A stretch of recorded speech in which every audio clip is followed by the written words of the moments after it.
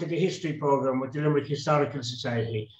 And as usual, uh, I have Tom Donovan, my, my co-presenter, with me uh, today. And today we have another different subject again, completely from what we would normally do, but it's history. And I'd like to welcome along uh, Pat Gill. Pat, you're very welcome to the program. Thanks, Tony. And we're going to talk about which, which Pat, I've, I interviewed you on the radio. God, it must be 15, 18 years ago now. at, uh, on the good old RLO station. And then you gave a talk to the Historical Society. And what we're going to talk about today is Opus Dei. Who it is, what it is, the founding of it, and why it was founded.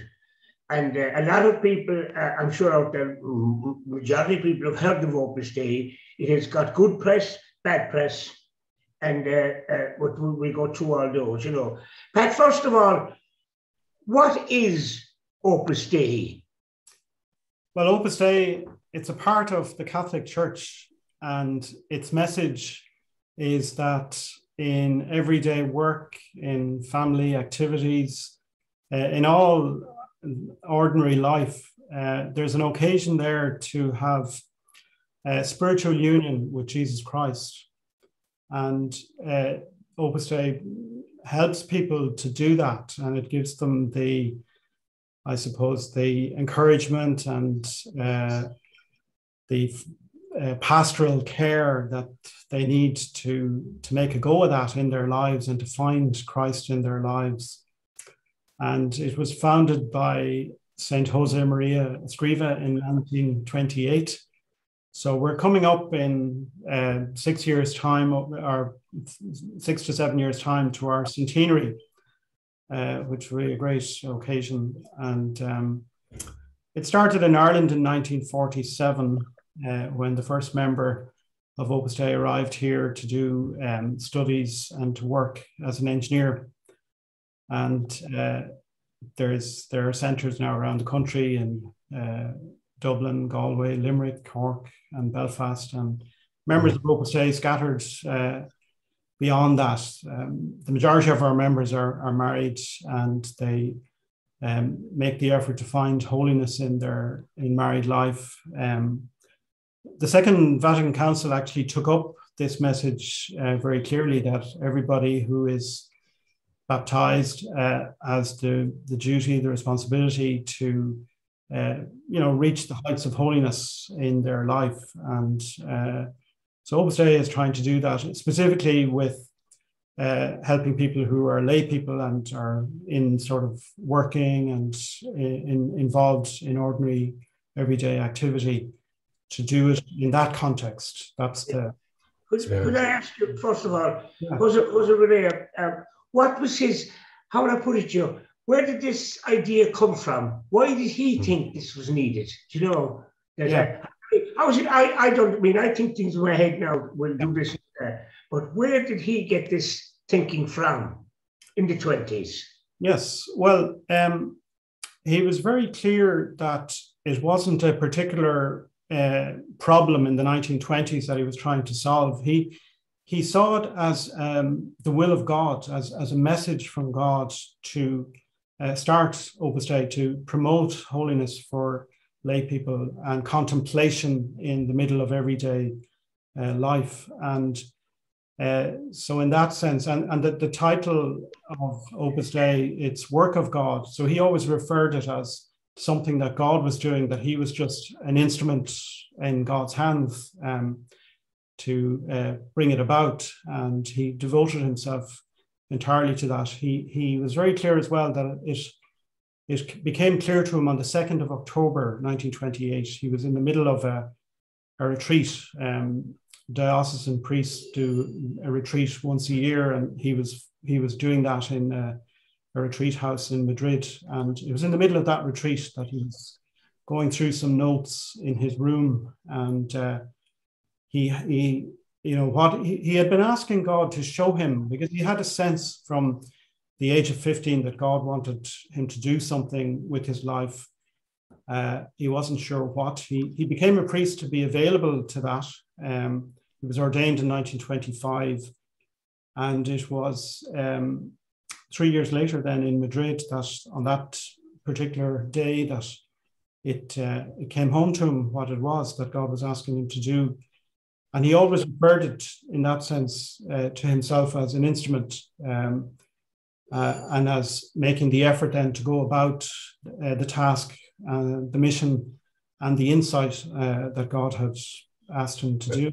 And what, what, was the reaction? What was the reaction within the church when he brought forward this idea? Well, uh, he had great support from uh, the Archbishop of Madrid to start off with. Okay. Um, and then he went to Rome uh, in 1946, uh, and Pope Pius XII granted the, the first. Well, actually, earlier than that, his his um, successor, uh, Blessed Alvaro del Portillo, went to Rome in 1943 to obtain uh, approval for the ordination of the first priests uh, in Opus Dei, including himself. Um, so Pope Pius, all the popes, like Pope Pius XII, gave the initial approval, um, and uh, Opus Dei has always acted with um, the approval of the ecclesiastical authorities in the church, and um, uh, so he, you know, he was very conscientious in that regard. Yeah.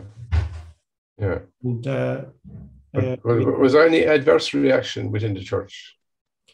Um, well, I suppose uh, it's it's um, you know it's a matter of historical record, sure. Um, that um, the, the the idea of lay people seeking the fullness of sanctity in, in the middle mm-hmm. of their ordinary occupations, you know, uh, is something that had been to a large extent forgotten. Uh, people didn't know what that looked like. I mean, the early Christians were certainly on yeah. this message, and when they became Christians, it, it meant a lot in their life. Uh, it didn't mean that they left the world, mm. and uh, but it was there was a certain um, novelty about what Saint Josemaria was was preaching and was and, and what would emerge in terms of people who were doing this and being good examples of this, many of whom their, their causes of um, beatification and canonization are underway. Yeah.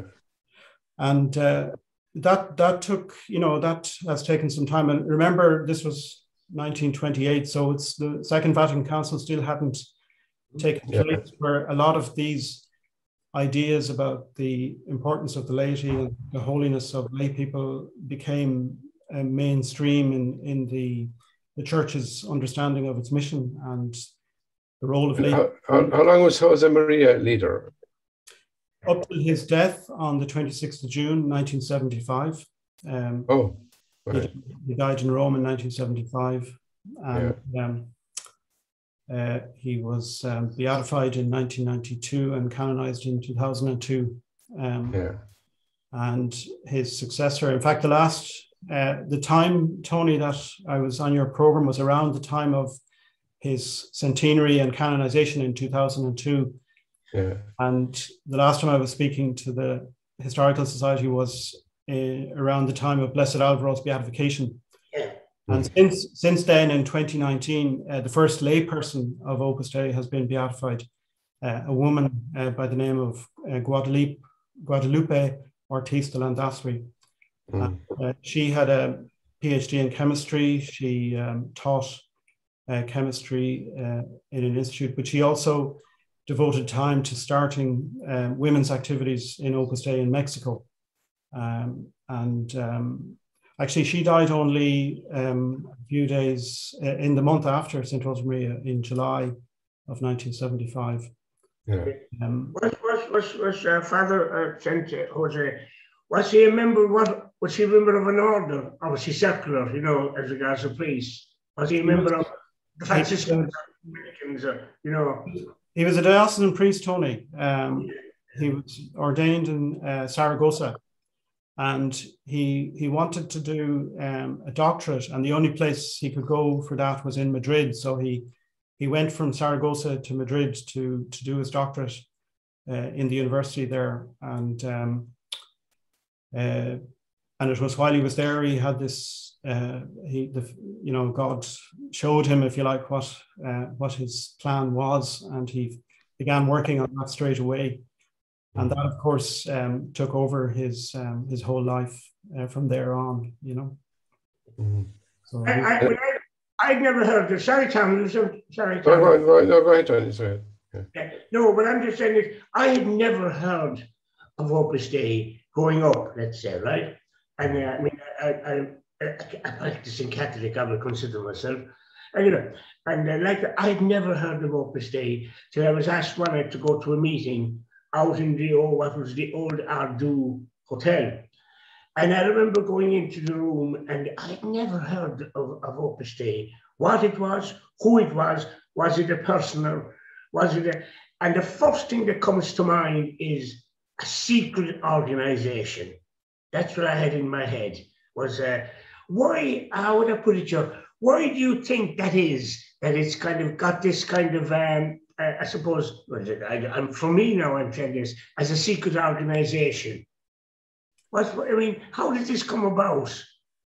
Well, I suppose um, as when you're when you're you know as a lay person, you the, the, the key thing about members of Opus is they're they're not distinguished by any uh, change. You know, by being an Opus Dei, it's it's your personal spiritual life. You know, so it's you don't wear any gear or you don't uh, you don't stand out in that sense.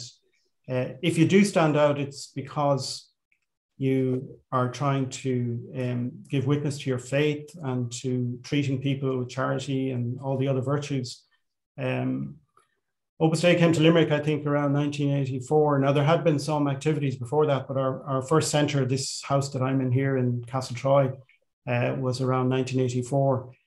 Uh, I myself met Opus Dei in Galway, and in my family, my, my father's, my late father's first cousin, Father Oliver Pole, who's actually quite ill at the moment, you might remember him in your prayers. Um, he uh, was one of the pioneering members of Opus Dei in Galway, and they set up a centre. And I went around there. There was a youth club in operation there, and that's how I first um, met Opus Dei. So I think part of it is uh, you have to meet people uh, to hear about it. But also nowadays, um, the internet, uh, which maybe wasn't there uh, when we were growing up, uh, is uh, also another source of reaching out to people. And um, our website, uh, opusdei.ie, has a lot of information and um, uh, it has grown, I suppose, in functionality, especially during the lockdown. Uh, a lot of our activities had to be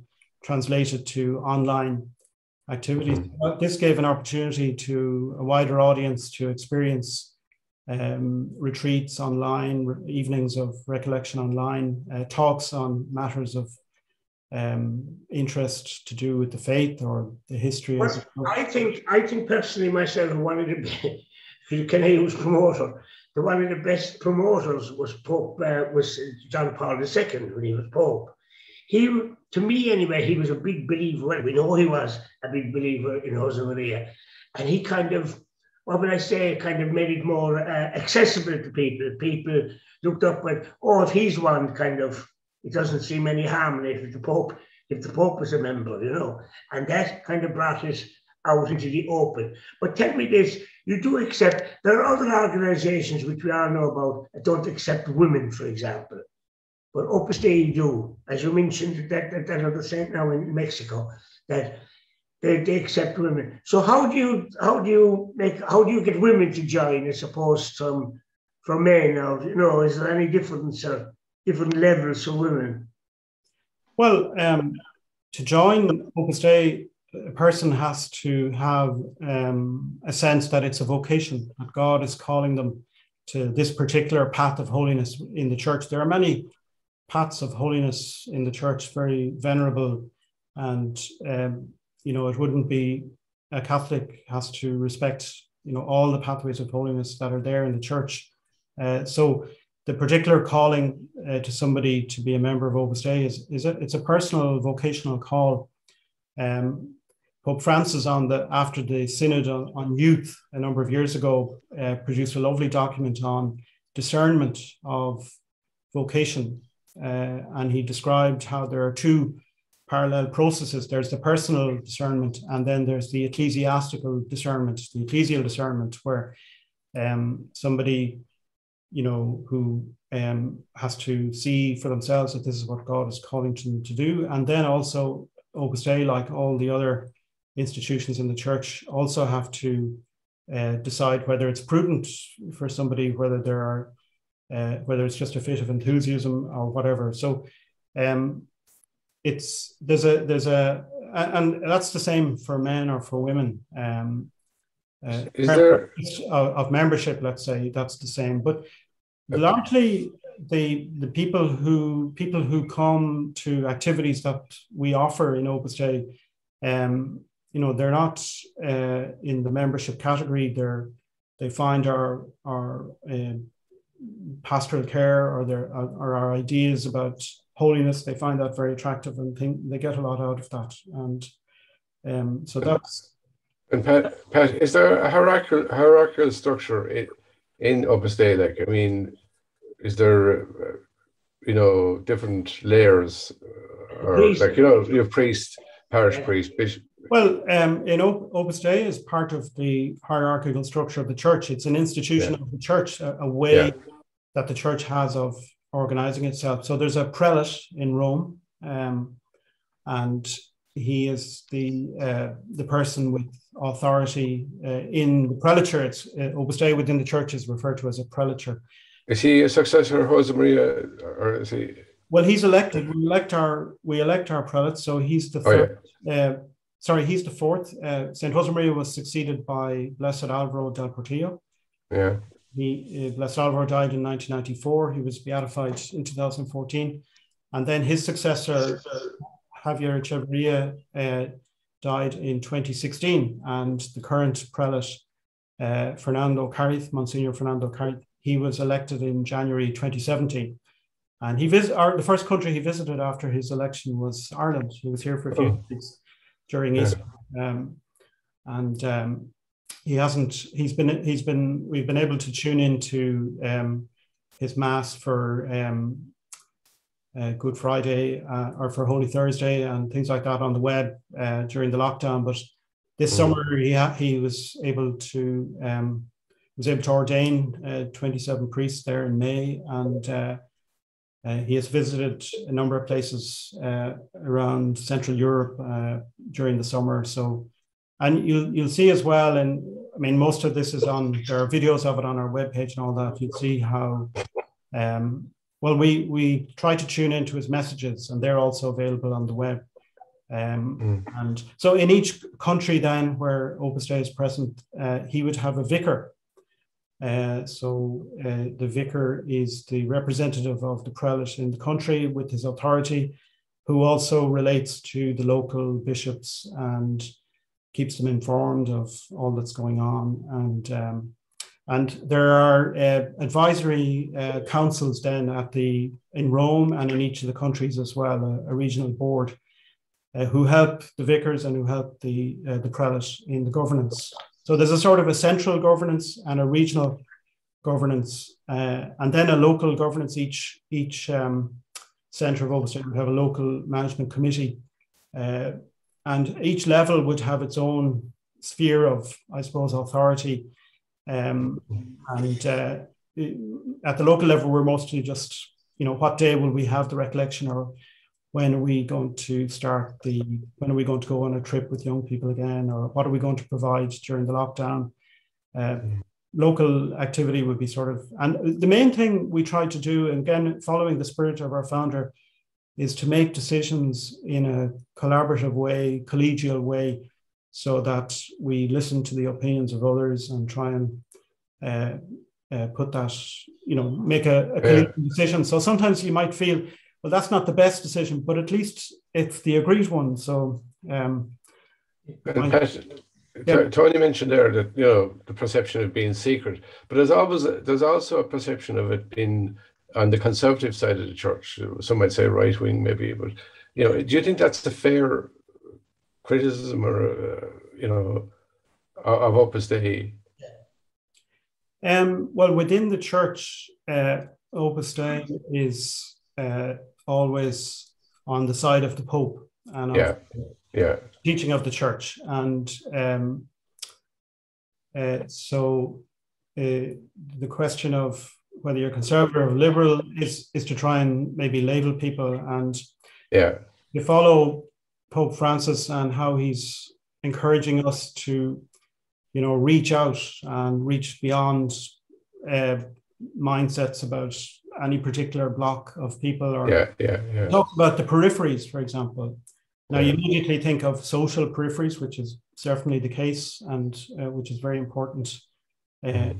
work but also there are cultural and intellectual peripheries where you know Christ has been you know people have lost experience of Christian living or they haven't really encountered Christ. And um, you know those are peripheries that we want to reach out to. And um, uh, so it, it's uh, if anything in Opus Dei one is encouraged to to to make friends with people whether they're conservative or liberal as as as referred to them, and uh, not to uh, obviously to engage with people and to be obviously one is clear, try to be clear about uh, what you believe in, but to communicate that in a not in a as as trying to win an argument, as Pope Francis said, yeah. enjoy the gospel, but as trying to persuade people about the beauty of um, of Christian life. I mean, today's gospel acclamation about Christ as the way, the truth, and the life I think is um, something that you know needs people need to see what that looks like and to hear it and mm. experience yeah. it and uh, and they need that because um, I think but, what what is certainly clear in today's society is there is a growing secularization and as Pope, yeah.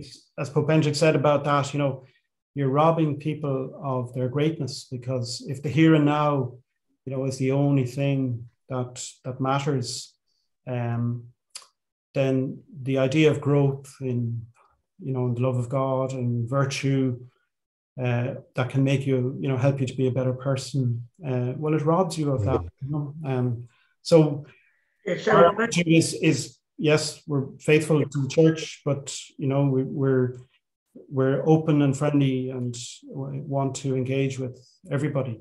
With yeah. I going to come to now. Two questions. First of all, have you have you personally got a position like?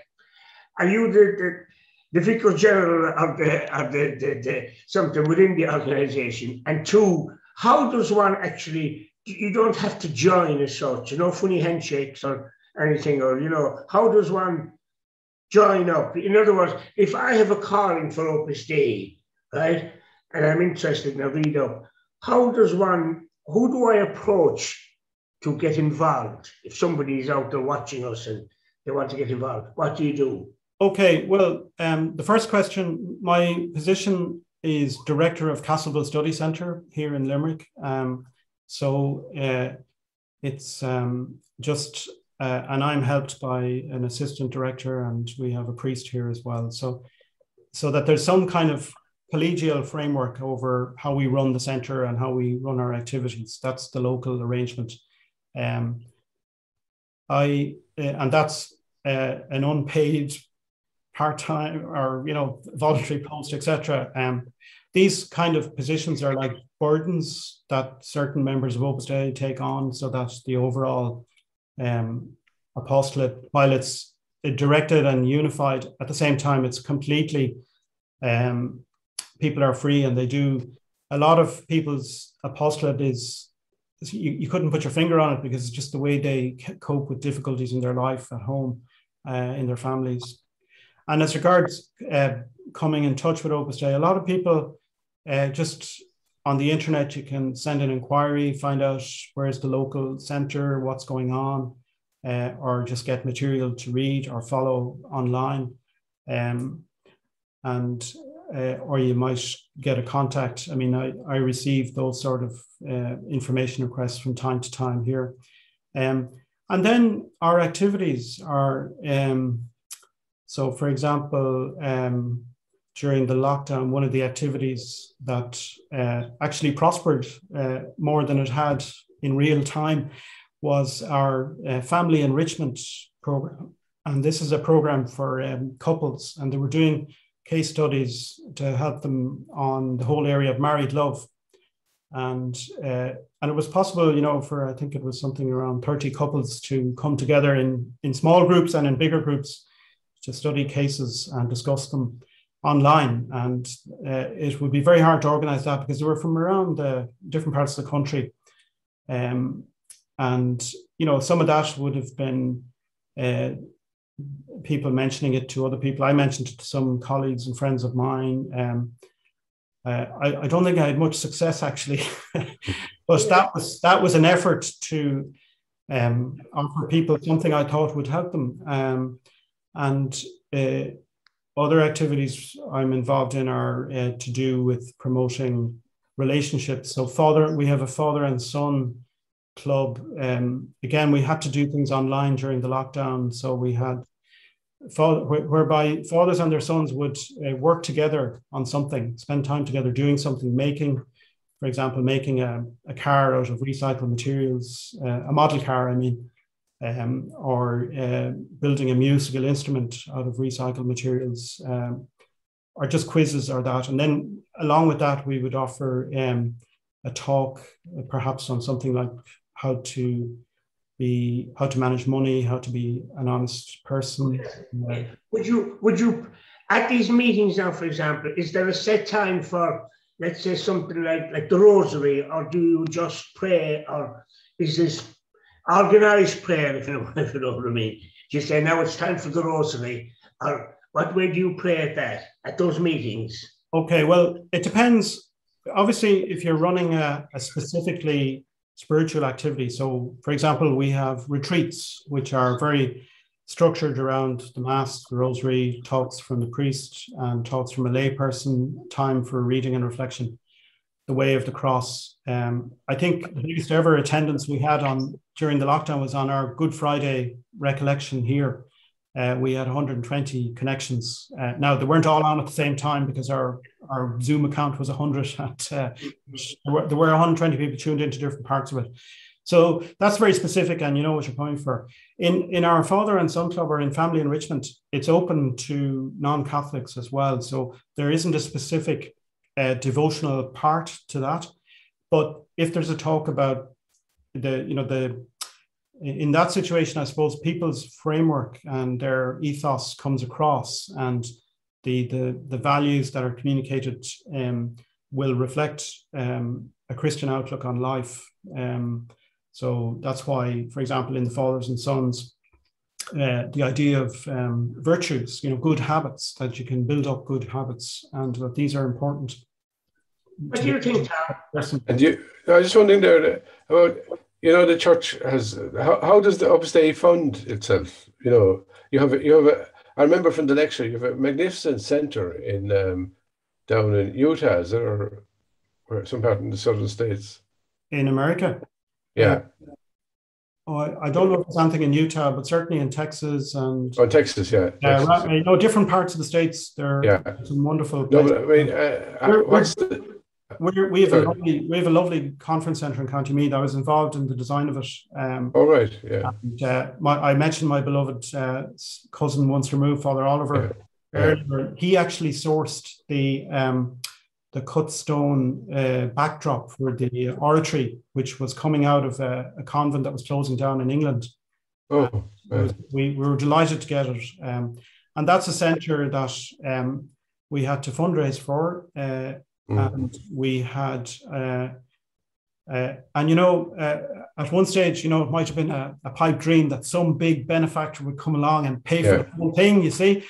But in yeah. fact, uh, it, that didn't happen. That didn't happen. What happened was we had to go around and ask our friends and uh, get help. And I think we did these evenings of presentation, not unlike the one that you were at, Tony. And I think somebody totted up that about 5,000 people had come to hear about Lismullin. Uh, Lismullin is the name of the, the centre, and um, that you know that was much better. Where is, where is the centre? Where's it near? It's near the hill of Tara in County Meath. It's just across down the hill and across the road. And there's a pro, it, you'll see on its website. There's a program of okay. Now this couldn't happen during the lockdown, but in the normal course of events, there are programs of retreats, courses. Um, there's a, a very um, popular farming seminar actually because it's located in farmland areas in County Meath and Woodlands.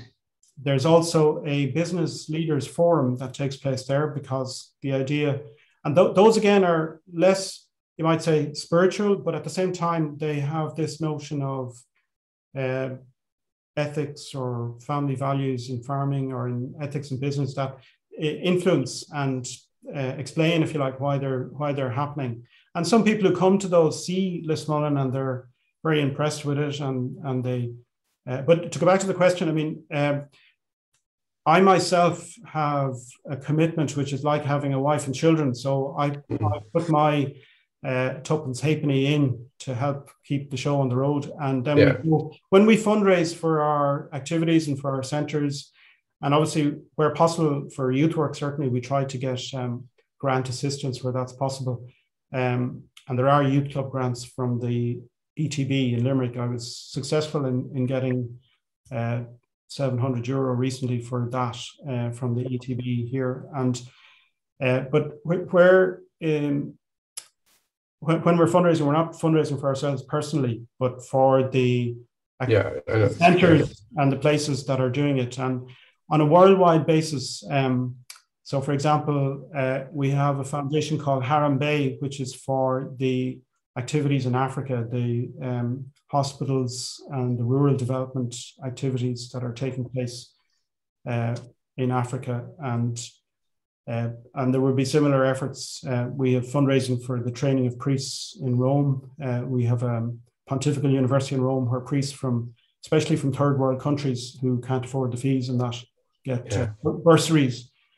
Uh, so, um, and we have on our centres, uh, you know, we have uh, generally we have substantial debts. Fortunately, we paid off the Lismullin debt. All right. Some years ago. Um, and the struggle now is to make ends meet because the yeah. lockdown has the lockdown has been a severe blow to yeah yeah. But and like if if supposing you you get a new person coming in they want to join, the you know like Tony and I don't drink or smoke. Do we have a head start, or like can you are you? Is part of personal discipline that you wouldn't uh, take alcohol or cigarettes or? Uh, or do you have to make? Would you would you be would there be a suggested contribution if you were earning money? Would you pay so much into the the church or to the Opus Dei? Yeah. Okay, uh, I'll start with the drinking and smoking. Yeah. Um, Saint Josemaria actually asked Blessed Alvaro to smoke at a certain stage because he wanted people to feel free about smoking. He had a great yeah. love for freedom, and it, it wasn't yeah. uh, it wasn't prohibited by the church to smoke. You know. Yeah. Okay. Uh, nor is it prohibited by the church to drink. I mean, our Lord changed the water into wine at, at Cana. Yeah. And many people see that as a an implicit, um, you know, uh, approval of alcohol, which of course is a good thing obviously uh, one you know temperance is a virtue and it's one of the virtues that mm. uh, sorely needed um, uh, and the fashions with smoking have changed completely so yeah, you won't uh, I think it's against the law for us now to have anyone smoking in our centres you know so they're not oh yeah yeah yeah, yeah. has a there's no smoking policies around all of our centres just in, in keeping with the laws of well I suppose my question is you wouldn't be if if you if you had a say somebody who wanted to join and they drank and smoked, it wouldn't be an obstacle. Um, well, it isn't about um, some self-discipline. You know, membership of Opus Dei isn't about. There are no saints on earth. Uh, yeah. Uh, sanctity, holiness is a. It's a battle. It's a struggle um, that people engage in. We're there to help people with that struggle, and um, uh, and you know, there's uh, it's um, you know it's it's it's not a kind of um, a club of kind of you know something like that. No, it's it's people who want to become saints, but we know that in this life, uh, you know, you just have to struggle for that, and mm. it'll be uphill all the way. And um, what Opus Dei has helped a lot of people to do is to uh, get on that path and maybe recover lost ground or from yeah. which is what, yeah. what the church and what Pope Francis especially is emphasizing, you know, the mercy of God. And um, I referred earlier to the Second Vatican Council. There's this lovely phrase about the church, which is sort of marching through history, clasping sinners to her bosom. You know, that's mm. that's the vision of the church. Pope Francis talks about smelling of sheep. You know, um, mm. uh, so that's uh, so helping people to maybe pick themselves up if necessary, and all of that is all part of and parcel of you know spreading the gospel yeah. today and bringing yeah. to Christ. I mean, Christ Himself, when faced with sinners, you know, He was totally merciful and he set them on the right path, and He was very encouraging. So it could only be like that, you know. it, it isn't a sort of a an interview to kind of pass a test of virtue. Ah, yeah, yeah, like yeah, that, yeah. You know? um, yeah. Do you drink and do you smoke? You know, the vision is somebody sitting down and being asked to answer the following questions. You know, it's good. But there are people I've met so many. But actually, something that comes to mind. Have you ever got any, whatever I put it, stick, um, adverse comments to you about Opus Dei? you know, if people said to you, like, um, I don't know, I'm trying to think of something, like, what are you with that crowd for? Or what? You know, what, what does it mean? And they're really not interested. It's like, I wear a pioneer pin, right? Why I wear it is really for spite, I suppose, when it annoys people when they see a pioneer pin, you know, and, oh, you don't drink, and you must be, you must be very boring, you know. And or a minute, or a minute there. Yeah, I love, I love, uh, I love, contra- I love a controversy like that. I do personally with the pioneer pin. But have you ever, have you met people that said to you like, "What's this Opus Dei crowd?" You know, uh, as I said, in their secret society, and you go around all day on your knees, or you know what you do. You know, so what? Have you ever gotten much stick about it? Um, well, I, I suppose personally, I can remember conversations uh, somewhat like that years ago. I think nowadays what tends to happen more is uh, like somebody might ask me if I if I'm married or if I have children, and I explain that I haven't and, and why, and that actually opens up a very interesting conversation. I think when you share with people your outlook on life, um, even if, as you say, sometimes it might be a countercultural or a bit against the grain, you actually engage people in a way that you get a lot of respect, and that's even that's that's even from people coming from a totally different perspective.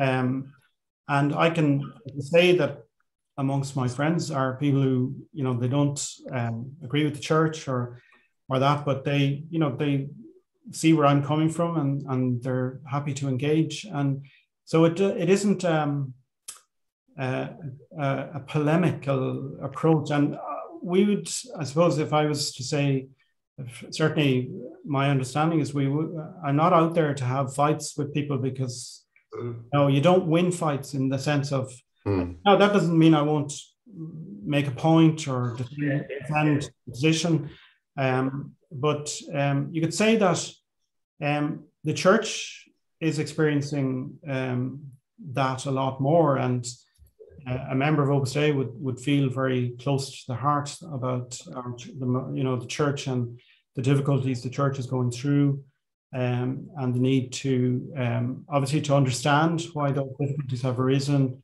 uh, and then to try and help people come back to the basics that the, you know the church is there for the salvation of souls, and it's made up of sinners like ourselves. Uh, and the important thing for people is not to is to try to make that connection with jesus christ in, in prayer and in the sacraments and in their everyday life so it might be more in the broader context that you would find you're discussing um, opposition or criticism uh, you know in, in in ireland today let's say um, um, you mentioned that Pat about being a sinner, and there's a I, I don't know if it's a myth or not, but there is a, a, a belief surrounding uh, Opus that sometimes, as a reminder that they're a sinner, that they wear chains or some sort of uh, flagellation. Yeah, yeah. What? Flagellation, yeah, yeah, yeah. Um, well, some members of Opus Dei use traditional means of mortification that are in the church, and yeah. the idea, in a sense, is is um, to reflect on our Lord's passion and uh, yeah. and it's believe me, it's very analogous. Uh, it's in no way comparable to what our Lord suffered. You know. Oh yeah, yeah. It's, it's, uh, but um, you know, the idea of small everyday mortifications, um, starting with what St. Josemaria calls uh, the heroic minute in the morning, you know, getting out of bed at the right time and not, not, not around. Uh, the small. Uh, That's my problem, getting out of the bed. well, something I can offer up, you know. Think of the heroic minute, Tony. Um, actually, uh, in St. Josemaria's book, The Way, uh, there's a chapter on mortification. Yeah. And there's a lovely point where he talks about the butter tragedy. The what? And the butter tragedy uh, yeah. actually comes from Father Willie Doyle. And St. Josemaria had read the Alfred O'Rahilly biography of Father Willie Doyle, who was a yeah. First World War uh, Army chaplain. He was a Jesuit. Yeah. And he kept a diary uh, while he was at the front. And he would be noting in it, um, today I did have butter, today, or another day I didn't. Yeah. trying to, even amidst the privations of the trenches, he was trying to offer to God not having butter some of the days out of his ration. Yeah. Uh, and St. Josemaria loved that uh, when he read it, and he, he brought it into that point in the way uh, the butter tragedy. So I suppose uh, we think of you know the sugar and the tea or things like yeah. that. Yeah, yeah, yeah. And that and in Opus Dei, a lot of uh, mortification is encouraged in terms of your work. You know, try to uh, be punctual and do your job well, and um, and especially nowadays as well, like take care of the any ethical concerns that you might have or issues that come up, you know, more and more in the workplace. Uh, yeah. But that uh, you find to- loads of scope, or you know, a parent with screaming children, or not to get annoyed, or to you know yeah. handle annoyance. Uh, so there's loads of scope in everyone's life, and you know, in the gospel, we're told, our Lord tells us, you know, uh, if you want to follow me, you know, take up your cross every day. And so, yeah. so Rosemary had the idea of, of the unspectacular cross, you know, the small, yeah, uh, what he called the pinpricks of every day, the little things. Uh, and there are so many. But is there, phys- is there also a physical mortification, you know, where you can wear something just to remind you that you're, you know, of, of, of the, of our suffering? Yeah. yeah, there is, yeah. Uh, and like many of the saints have done, you know, they uh, yeah. use mortifications like that. So, but um, everybody has plenty of opportunity in their everyday yeah. to offer little things that are, uh, and then some people get big crosses. Uh, we just buried uh, a few weeks ago one of our members. He was a young man of uh, 56 years of age. Uh, he had cancer for 18 years. Uh, for the last six years, he was feeding artificially. He was involved in our youth activities when his health allowed it, um, and uh, he, you know, he and he he was so, um, I suppose, you could see great holiness breaking out when he when he was afflicted with this because he never complained and he he was yeah. edifying really, and you see that uh, some of our elderly members as well. Uh, our um, married members who are, you know, now in their 80s and 90s. They they're just wonderful people to, to deal with because they're so trying to unite their old age and their sufferings. Uh, yeah. Christ and it's. I, I think people of that I think people of that generation were more stoical anyway. You know, in their, uh, you know, they, they took things on like they were. I suppose they grew up uh, suffering and continued on. You know, and they're grateful for what they what they had in later life. You know, um, we, we, you can see it in younger people. A number of um, our causes of canonization. Uh, one of them relates to Montserrat Grases. She was um, an 18 year old uh, girl and uh, she got cancer in her leg. Uh, and just and in the church generally, there's been a Pope Francis has beatified. You had the likes of uh, Blessed Carlo Acutis, who was beatified in Assisi last summer or last, last October, I think, and uh, he again was, uh, uh, up, you know, he died of um, an ill, I think it was cancer, but he he was mm. promoting um, devotion to the Eucharist in on yeah. the internet, uh, and uh, is a lovely example of holiness in in adverse circumstances, and perhaps it was his illness that brought him close to God at the end of it all. Um, but anyway, it's a wonderful example, and there are many examples amongst young people. Um, yeah. To kind of come back on that about the, it's not just that the older generation had the faith, which they did, uh, but um, young people are searching for this actually, um, mm. because the current the message that God doesn't matter or doesn't exist isn't satisfying at all. Uh, yeah. And as I mentioned earlier, Pope Benedict said it robs them of the potential to be great, you know, the greatness that's available to them. So there, it's, it's I think that it's, yeah. I think this is it's an easier route to believe than not to believe, I suppose, you know. Uh, but yeah, like what amazed me the night you gave us lecture was I thought Opus Dei was an old, very old uh, structure within the church, if I want a better word. And I was surprised when you said it was only 1928. I thought it was going back centuries, you know, uh, as part of the church. I, I didn't realize that was only a recent, relative, it's not even 100 years, which is recent in the church history. indeed, you know? indeed, yeah. Yeah, yeah. There's a few things before we've only about 10 minutes left just to ask you. First of all, we can't let this go without mentioning, I have to get this right now, the Bishop of Lismore in Waterford because Fancy didn't agree with me. I said the Bishop of Waterford first, and I forgot the Lismore bit, you know, and he said, make sure you get that in. But Fancy, I know, was a, a great, what word would I use? Believer, I suppose, really is the best thing, in Opus Dei. And I did ask him about that at the end of our talk, uh, and he said that um, he did, and it was on about St. Maria and that, you know. But he just comes to mind now. But what is your opinion on uh, the state of the church in Ireland today. Like, for example, there are certain radio stations that I personally think, now this is my view, that are anti church, right?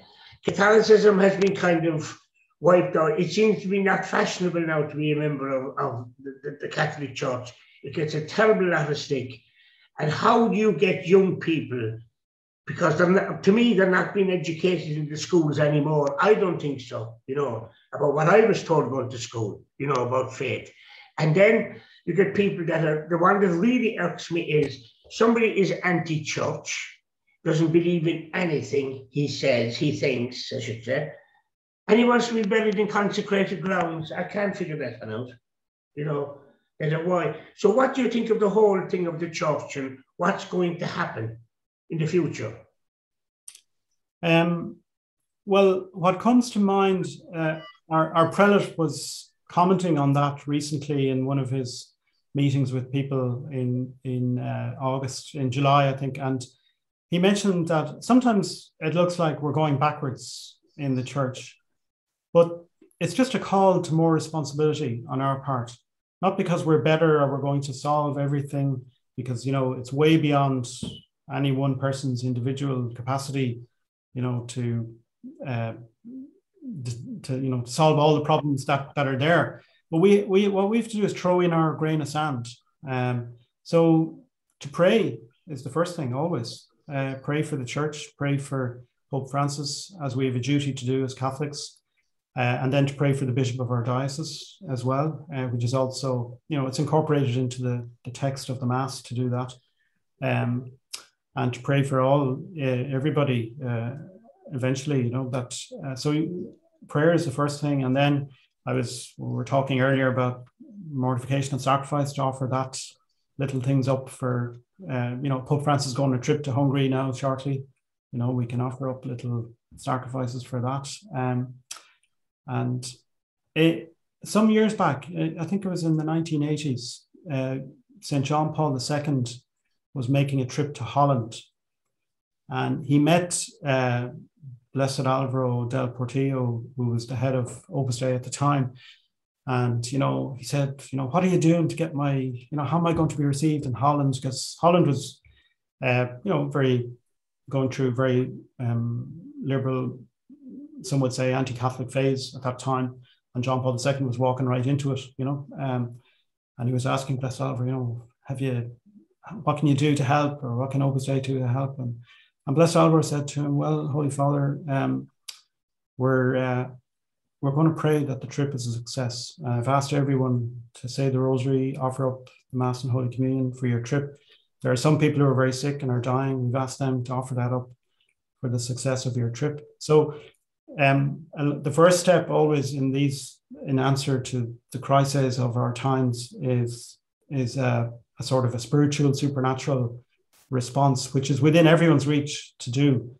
Um, after that, it's a question of, um, well, trying to um, show that well we're we're deriving, you know, our life is built around Jesus Christ, and uh, and therefore the sacraments and prayer and offering all we do, and being, if you like, a lot of people might uh, be against church because they don't really see what it looks like. You know, they don't see maybe good example of Christian living. They don't see, uh, and we have to, you know, we have a responsibility to be Christ for other people. To go, as Pope Francis says, go to the peripheries where he's not there. But and then, but he says an interesting thing, Pope Francis.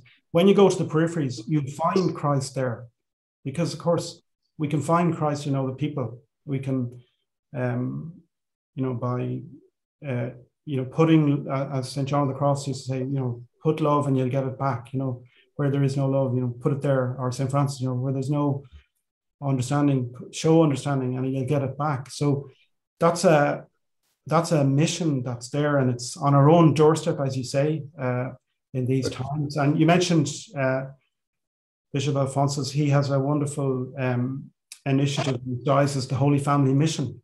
And yeah. he has developed that since he became bishop. And young people are going there, and it was featured on uh, RTE um, nationwide uh, there on Good Friday. You know, so um, everybody can you know put in their uh, put their shoulder to the wheel and do whatever they can. I mentioned uh, the Fathers and Son Club and the Family Enrichment, and we have another activity for teenagers, Horizon.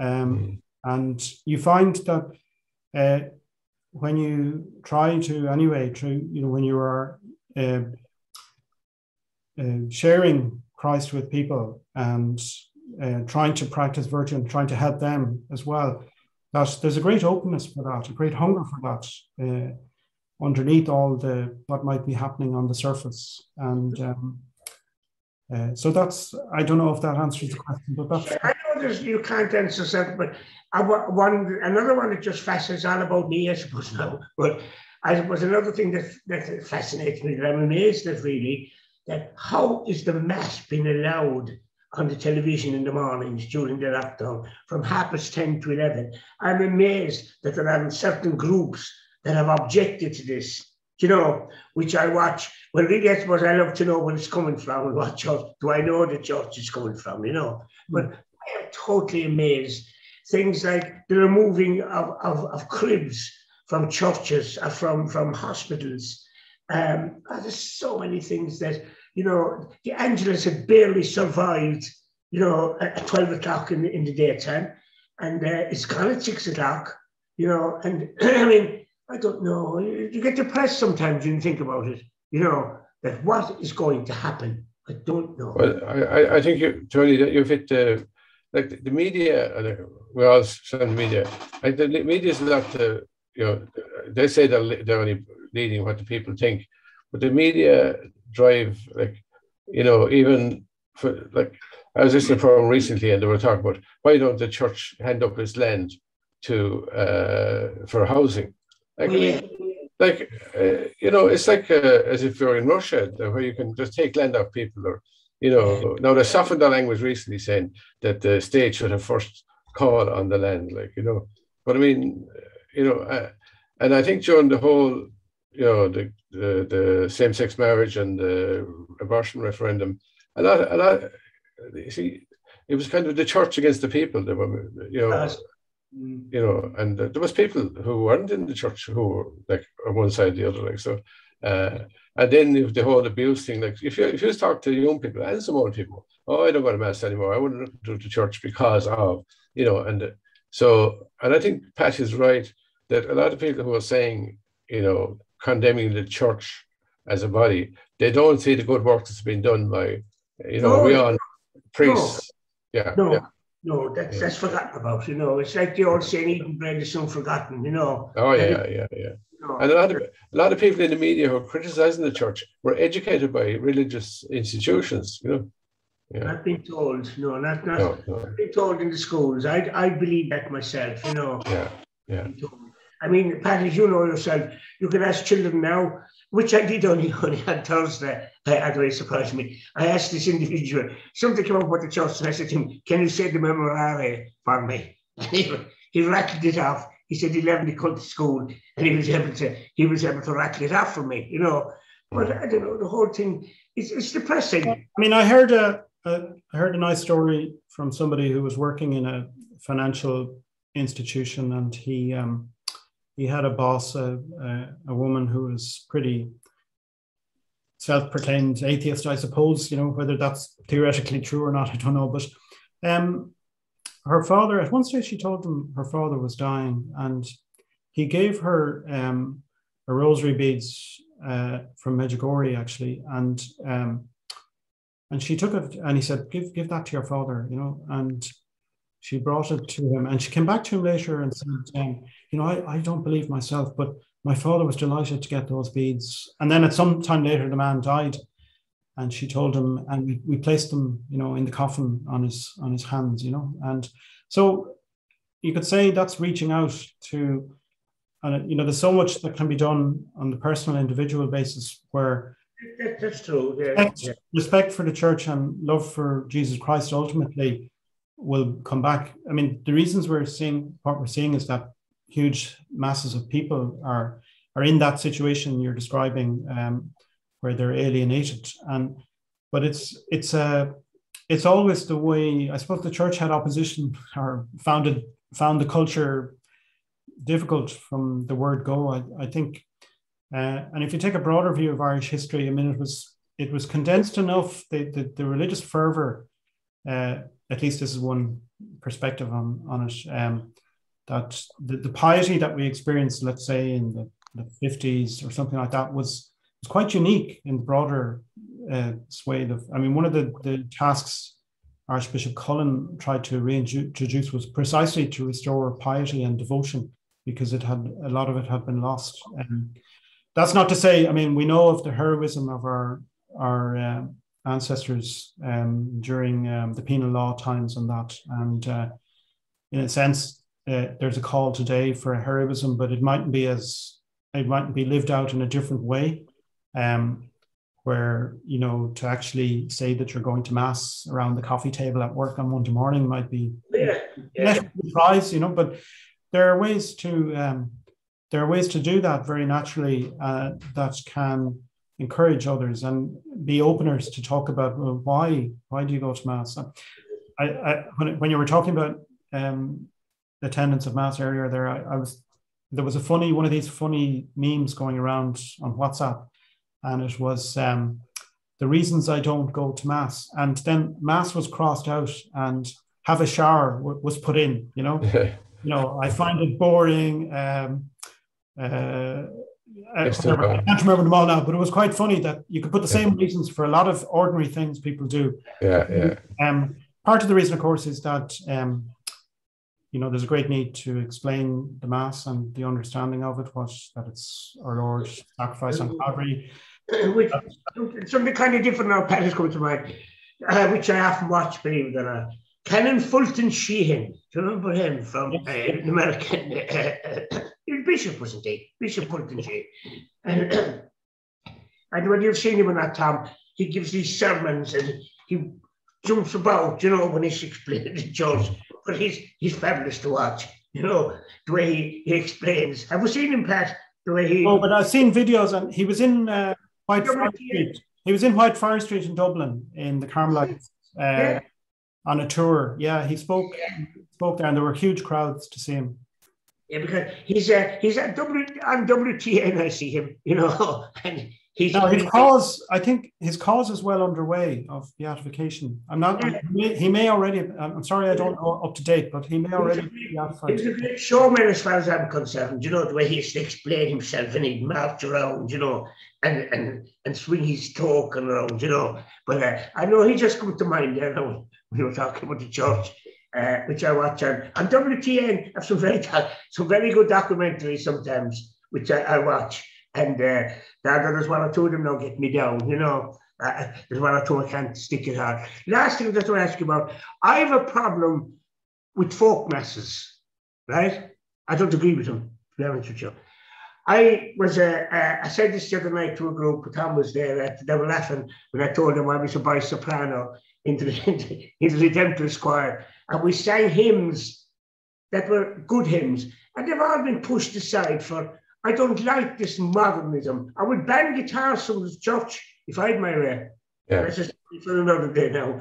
But you cannot beat the, the, the, what I mean beat in the sense of, of, of the organ in the church, you know, and the hymns that we sang, and which I still obviously remember to this day. But it's a pity that we've gone too kind of folky about uh, about the. I know it's it's it was a push to get young people involved, but I never I never took to it. Have any any opinion, would you rather stay out of this? yeah, I suppose um, rather stay out of it would be. I mean, I, I understand your point, um, yeah.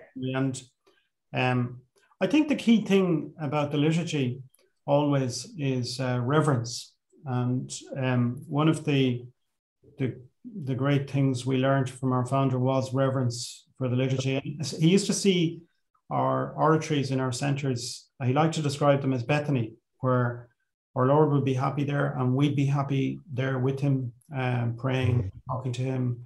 Um, so he was very much in favor of good taste and beauty in the liturgy, and um, uh, and that's um, that's the kind of I suppose um, that's what you'll experience when you come to a centre of Opus Dei in terms of yeah. the oratory and the liturgy, and things will be done with reverence. Uh, in accordance, uh, obviously, in accordance with whatever the church uh, permits and, and uh, commands. Uh, what do you think, Tom, of, of, of, of, that? Would you agree with folk masses or? Absolutely not. I mean, uh, I was at a, at a mass one day and they sang "Let It Be" by the Beatles, like, and it's about like it's about drugs, and I think because Mother Mary's in it that they're uh, that, that it's, it's you know uh, like that's just one example. I mean, I heard up in Ennistymon where the priest band singing at, at weddings because they sang "Help Me Make It Through the Night," and as, as Pat says, it's about reverence. You know, like you know, you can have music without trying to make it uh, or even say, like maybe it's just a personal thing. People singing the old men uh, uh at their father's funeral. I, I do, uh, like. Well, some some dioceses now. I think the Archdiocese of Dublin, certainly yeah. under under Archbishop Martin, certainly introduced guidelines for funerals. Yeah. Yeah. I remember. I remember I one day. I remember one day paying a visit to the Pro Cathedral.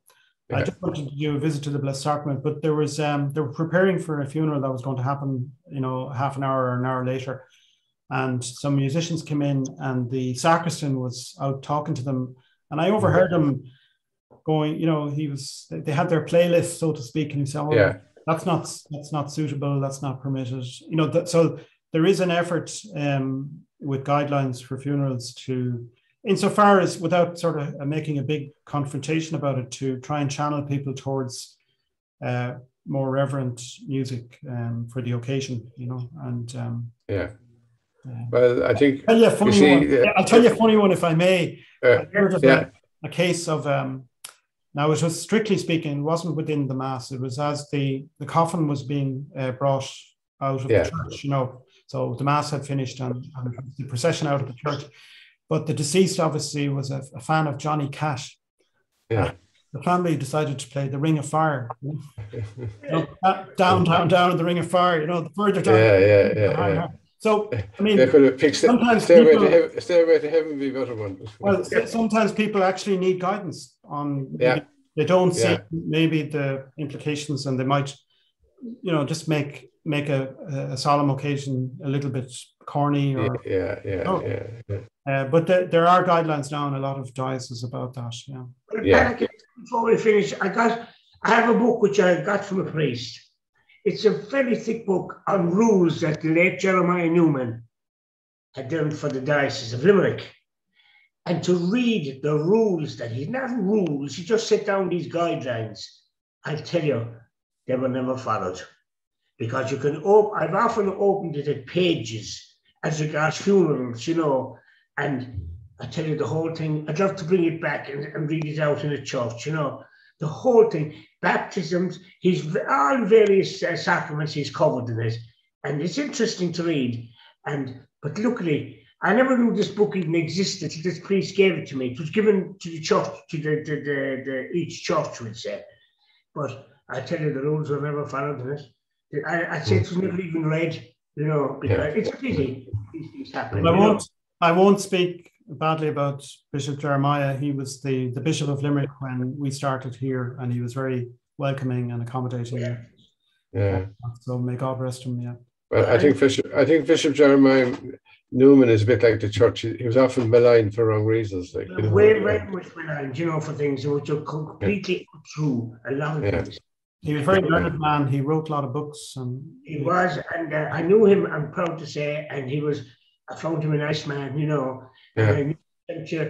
Now, I used to back off sometimes because I was afraid in case he'd, he'd, he'd, he'd get annoyed at me. We questioned St. Bridget one time now, and I, I backed off, you know, and uh, I said to him, one thing I did say, oh, jokingly, I said, the Holy Wells, I said, were there before St. Bridget.